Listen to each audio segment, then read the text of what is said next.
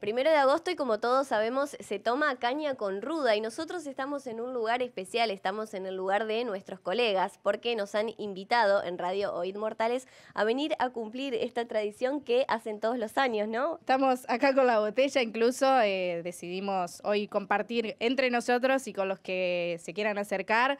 Ya algunos oyentes han venido y bueno, los vecinos también a, a tomar un traguito de caña con ruda, no es para emocionarse igual, ¿eh? Bueno, preguntando a comunicadores sociales por qué se toma hoy, primero de agosto, la caña con ruda. A ver, la tradición, de acuerdo a lo que uno ha leído, no es una cuestión tradicional en todo caso de, de familia, yo la verdad me fui enterando trabajando en los medios, eh, alejar los males. eh, más que nada porque, no sé si tiene mucho que ver con el dicho, lo charlábamos con Belén días pasados acá en la radio, si eh, el dicho este de que julio te prepara y agosto te lleva, te, te va para arriba. Bueno, lo cierto es que dice que con caña con ruda podés llegar a zafar de ese agosto que te lleve.